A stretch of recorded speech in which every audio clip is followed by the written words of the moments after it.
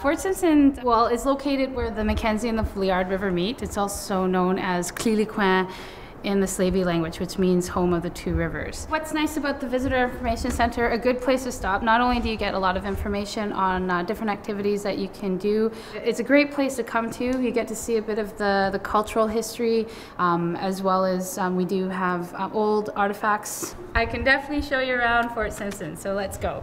Where we're coming to establish is the McPherson House, and the McPherson House is one of the oldest houses in Fort Simpson. It was actually built in 1936 we're quite fortunate to have bumped into two of um, the local people and the children of George McPherson and a couple of people that actually lived in uh, the house that we're about to see and visit.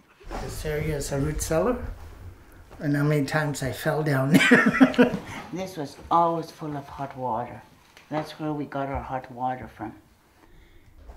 Our youngest sister, she carved her initials up there.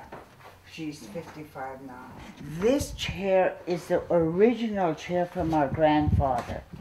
If you want to use the washroom and have a comfortable seat, you gotta check this out. Just put a bucket underneath and you're good to go.